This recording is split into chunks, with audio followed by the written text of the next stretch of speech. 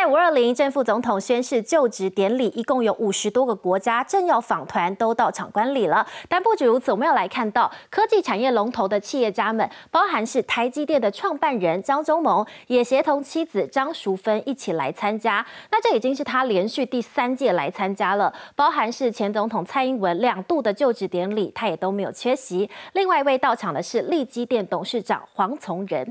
那在五二零新政府上任的这一天啊，我们要来看到国。人对于经济信心调查的结果，景气展望乐观指数，还有股市乐观情绪，都是保持在偏乐观的正值。那尤其可以看到，包括是大额消费意愿指数，还有耐久财消费意愿指数，显示都是上升的。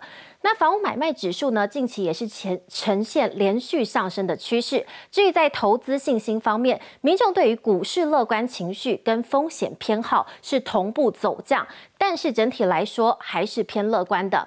接着我们来看到，在台北股市五月以来是屡创新高，那遇上了五二零总统就职，也出现了庆祝行情。分析师就点名了赖清德选前的证件股，像是五大信赖产业，包括是半导体、人工智慧。产业还有军工、安控跟通讯等等，预计未来都会有政府资金的政策加持，备受关注。加上目前房市也出现四大利多，包括是通膨推升价格、股市大好，还有地震安全意识跟科技建厂活络周边的房市。专家也评估，五二零不只是赖清德就任总统的大日子，也是建商推案的重要时节。